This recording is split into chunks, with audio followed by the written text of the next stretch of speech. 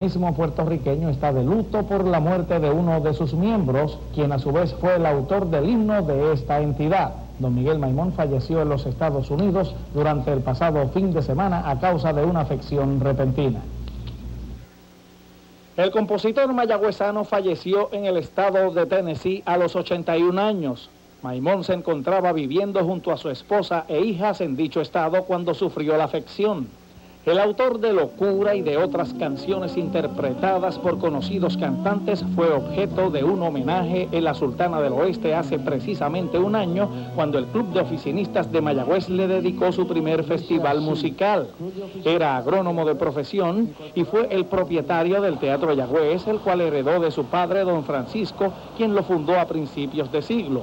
En los años 70, este decidió venderle la joya arquitectónica al municipio continuando luego con la carrera musical que desde muy joven había comenzado, componiendo en ese periodo bellas canciones, algunas de las cuales fueron premiadas.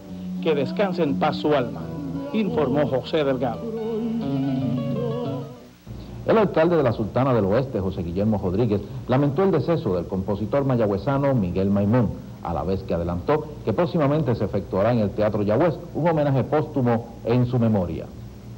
Muy lamentable, yo creo que Mayagüez pierde un gran compositor, un gran artista, una persona que Mayagüez tiene que agradecerle a esa familia que se haya podido preservar el Teatro Mayagüez eh, a través de la administración municipal y que sin duda alguna pues nosotros estamos unidos en esa pena, en ese dolor y poder de alguna forma u otra eh, hacerle algún reconocimiento. Hemos dado la oportunidad a que las facilidades del Teatro Yagüez, eh, según hemos tenido acercamiento con los familiares, se pueda hacer algún acto ecuménico eh, conmemorando pues, eh, la memoria de don Miguel Maimón. Que paz descanse.